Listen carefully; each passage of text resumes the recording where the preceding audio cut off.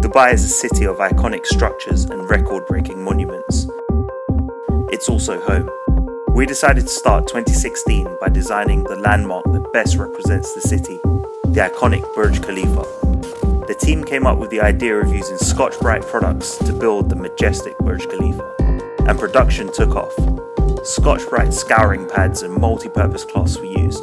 A team of seven worked on the model for three days straight. The 12 foot model of the Burj Khalifa finally took shape and was installed at Giant Ibn Battuta and Giant Yas By bringing pioneering ideas to life, Scotch-Brite has pushed the boundaries of innovation, just like Dubai, our home.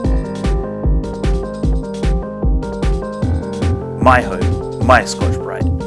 Watch this space for more, you never know what we'll do next.